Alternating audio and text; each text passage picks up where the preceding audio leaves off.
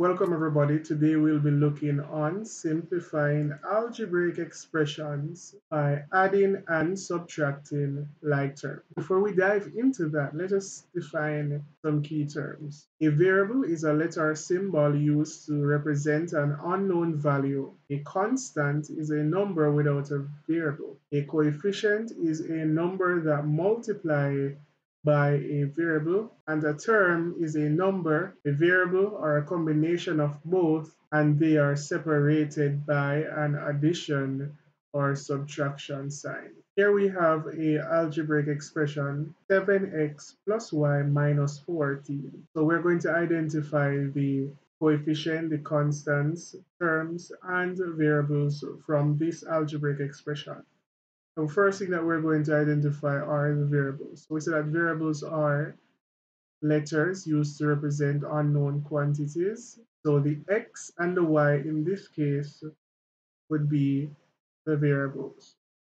Let's now move to the coefficients. The coefficient would be, we say that coefficient is the number multiplied by the variable. So the 7 would be an example of a coefficient, coefficient for the y would be positive 1.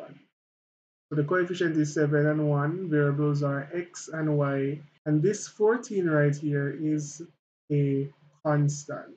So the definition for a term is a number, a variable, or a combination of a variable and a number so each of these that are separated by an addition or subtraction sign are called terms. And the entire thing is a algebraic expression. These are some key terms that we need to know when doing algebra. The like terms have the same variable and power. For terms we have, so we have like and unlike terms. Like terms have the same variable and power, and they can also be constants. For example, if we have 3x and 4x, so these would be examples of like, because the variable for both terms are the same. Also, if we had um, 5w squared and 7w squared, both of these would be classified as like terms because the variables are the same and the, the power, the exponents are also the same. So half and 3 these would also be examples of like terms. Unlike terms are those that do not share the same variable and the power. For example, if we have 4x and we have 2x squared, even though the variables are x, we realize that the powers are different, constant and a variable. Now we can simplify like terms by adding or subtracting the coefficients of the terms. Let's look on a few examples. The first example, we have 9m minus 3 minus 12m plus m. The first thing that we're going to do uh, is identify the like terms. So we have 9m, we have this negative 12m, or you can say minus 12m, and we have this positive m. So those are the like terms. And we have a constant 3.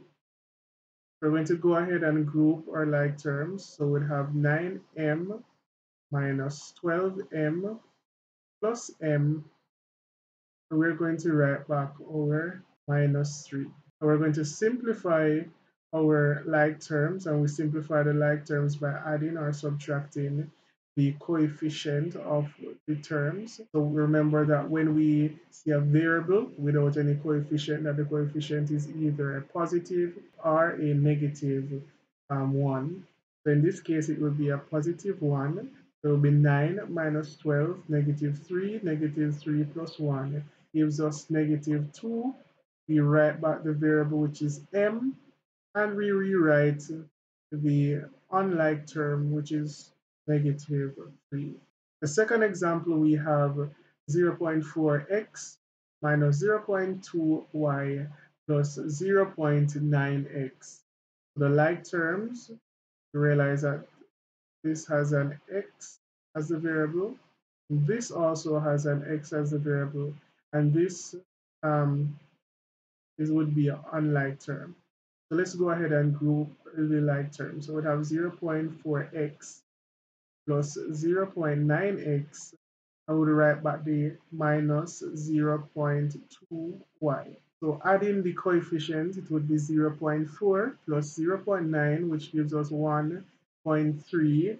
We write back our variable, which is x, and we just write back the unlike terms. Our third example, we have 3ab squared minus 4ab minus ab squared minus 2ab. Now the like terms, we have the 3ab squared, positive 3ab squared. We have this negative 3ab squared. So those would be our like terms. But we also see that the negative 4ab and the negative 2ab are also like terms. Let's go ahead and work them out. So we group our like terms. So 3ab squared minus 1, let's just put the coefficient 1 there, 1 ab squared minus 4ab minus 2ab. And all we're going to do is simplify the like terms. So we're going to subtract the coefficient. So 3 minus 1 gives us positive 2.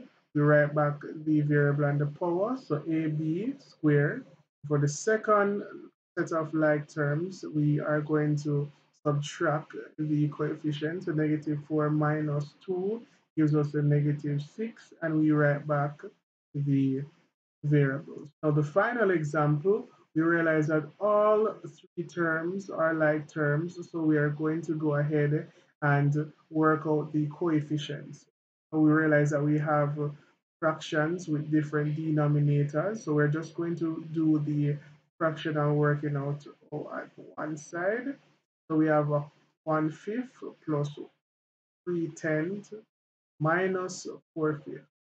Now the highest common factor for the 10 and the 5 is 10. 5 into 10 goes 2 times. 2 times 1 is 2. Plus 10 into 10, 1. 1 times 3 is 3. 5 into 10 2 times. And 2 times 4 is 8. 2 plus 3 is equal to 5. 5 minus 8 is equal to negative 3 over 10. The answer is equal to negative 3 over 10. And we write back the variable, which is n.